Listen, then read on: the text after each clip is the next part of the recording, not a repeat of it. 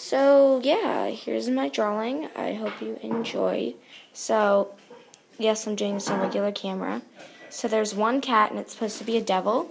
And then there's one cat that's supposed to be an angel. And then there's like two little baskets here. And um, so there's a haunted house right here with little ghosts. And if it will focus, nope, it won't. But yes, there we go, focus. So yeah, there we go. It's focused finally for me. There's the cat. There's the other cat. Sorry for the background music. I'm kind of downstairs right now. And so it says, so this cat says we should go because they want to go into the haunted house. And this other cat says no, we should not because she doesn't want to go in the haunted house.